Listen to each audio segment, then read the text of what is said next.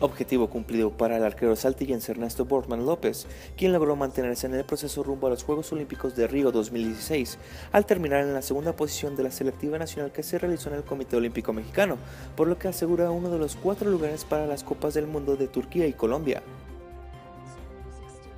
En el último día de actividades de la selectiva nacional en la COM, Portman López encaró un doble round robin todos contra todos, en el primero que ganó 4 de 5 encuentros, mientras que en el segundo tuvo un déficit que apenas lo llevó a ganar 2 de 5 partidos, por lo que tendría que definir su posición en la segunda parte del evento, las flechas de desempate.